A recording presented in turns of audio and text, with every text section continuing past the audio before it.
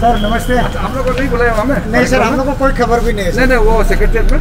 नहीं कोई खबर नहीं है सर। अरे मेरा सामान देना था सर मैं तो आपका सेक्रेटरी को भी व्हाट्सअप तीन दिन पहले किया रिप्लाई नहीं दिया सर। ठीक है किरण जी काफ़ी दिन हो गया कोविड के समय में। लोगों का यहाँ सोशल मीडिया में कि किरण जी गायब हो गया बोला।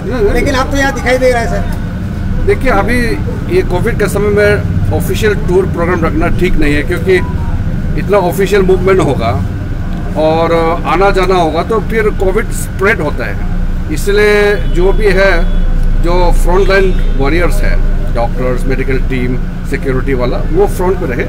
पब्लिक का मूवमेंट कम होना चाहिए तो लगातार यहाँ खाना पीना से लेकर के दूर दराज में जो बेसिक आइटम्स है, ईटानगर से लेकर के बॉर्डर एरिया तक क्राइसिस होने नहीं दिया। लगातार हम संपर्क में था, मुख्यमंत्री जी के साथ डीसी के साथ, पार्टी वर्कर सब के साथ। और अभी लगभग एक साल, तीन महीने हो गए। और अरुणाचल में किसी चीज़ का क्राइसिस होने नहीं दिया। खाना, पीना, चावल, दाल और मेडिसिन खास करके, और जैसे लाइट इलेक्ट्रिसिटी होते हैं, आपका टेलीफोन लाइन होते हैं पानी होते हैं सारा चीज़ की व्यवस्था करना पड़ता है। तो और, और बाकी जो इमरजेंसी सामान जो होते हैं मेडिकल का आज भी हम वो सब लेके आए हैं। और क्योंकि मैं आयुष मंत्री भी हूँ तो आयुष का भी काफ़ी हम आगे देख रहे हैं कि क्या कर सकते हैं।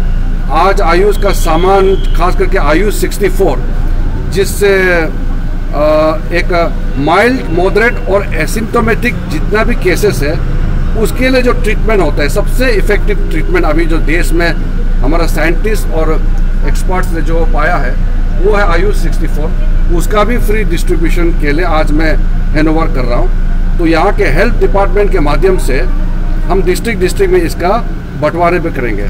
क्योंकि कुछ कुछ मेडिकल सामान है, वो पार्टी वर्कर्स के हाथ से डिस्ट्रीब्यूट नहीं कर सकते, वो टेक्निकल है। तो वो हेल्थ वर्कर्स है और मेडिकल टीम के माध्यम से हम लोग उसको डिस्ट्रीब्यूट करेंगे। किरण जी आप हमारा मेंबर ऑफ़ पार्लियामेंट के अलावा हमारा देश के नेता भी हैं। तो काफ़ी लोग हमारा अभी भी कंफ्यूजन में है कि कोविड का कैसा चलेगा बोल के तो लोगों को आप किस तरह से संबोधित करेंगे देखिए कोविड का अ, जो काफ़ी ग्रुप ऑफ़ मिनिस्टर्स होते हैं हम लोग चर्चा करते हैं डेली का डेली प्राइम मिनिस्टर रिव्यू लेते हैं। जो चीफ मिनिस्टर्स के साथ एक्सपर्ट्स के साथ रिव्यू लेता है अलग।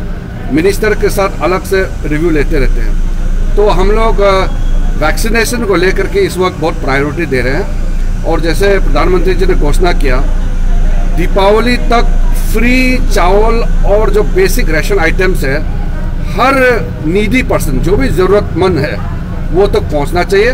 और दिसंबर तक यूनिवर्सली सबको वैक्सीनेशन फ्री ऑफ़ कॉस्ट कराने का, ये बहुत मामूली अनाउंसमेंट नहीं है। आप लोग मालूम है इकोनॉमी डाउन है। सारा दुनिया का इकोनॉमी डाउन है। कमाई नहीं हो रहा है। जो इकोनॉमी डाउन होता है तो आपका रेवेन्यू कम होता है। और रेवेन्यू कम होता है तो खर्चा करने के लिए पैसा नहीं होता है। तो ऐसा समय में जब पूरा दुनिया का इकोनॉमी डाउन है, भारत का भी डाउन है, ऐसे समय में 80 करोड़ से भी ज़्यादा लोगों को फ्री में चावल बांटना, बाकी सामान बांटना फ्री वैक्सीनेशन करना ये दुनिया का सबसे बड़ा फ्री चीज़ देने का कार्यक्रम का रिकॉर्ड है। तो मैं मानता हूँ कि डिफ़िकल्ट समय में भी प्रधानमंत्री जी ने एक ऐसा तरीका निकला है जिससे जुगाड़ करके, कहीं से कुछ मैनेज करके भी लोगों को सुविधा पहुँचाए।